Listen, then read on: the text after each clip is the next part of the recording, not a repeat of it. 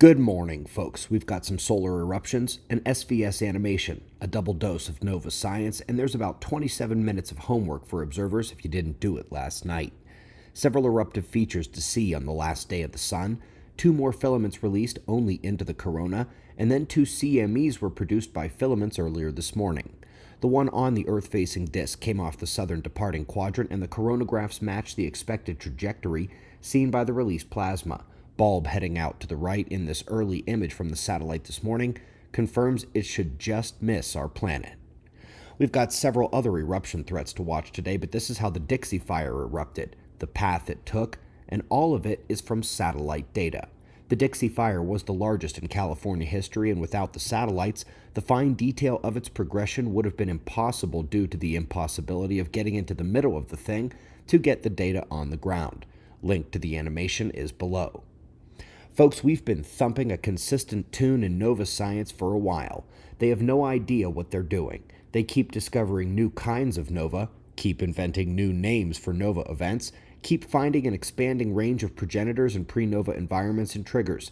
Should have been pretty obvious when they've long known how variable these blasts can appear.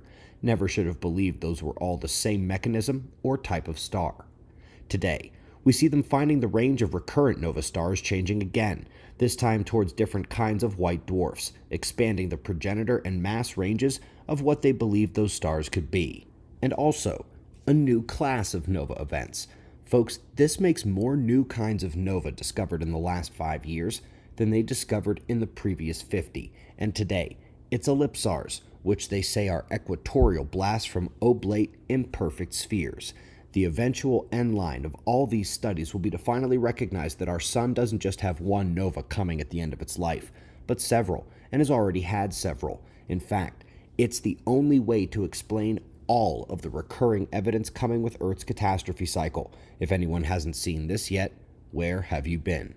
And if you didn't catch last night's video, and if you give any sliver of a care about this kind of information, or the observers, it's critical you check out last night's video where I lay out all the coming changes, and I also drop several hints of things I usually try not to discuss on YouTube because I don't want to get banned like the intentional destruction of the food supply. But anyway, we greatly appreciate your support. Watch last night's video. If you haven't seen the Earth disaster documentary, that's in the link list below every morning news video, including this one. We've got shots of our star to close. Subscribe and we'll do this all again tomorrow. Right here, but right now it's 5:45 a.m. in the new Valley of the Sun. Eyes open, no fear. Be safe, everyone.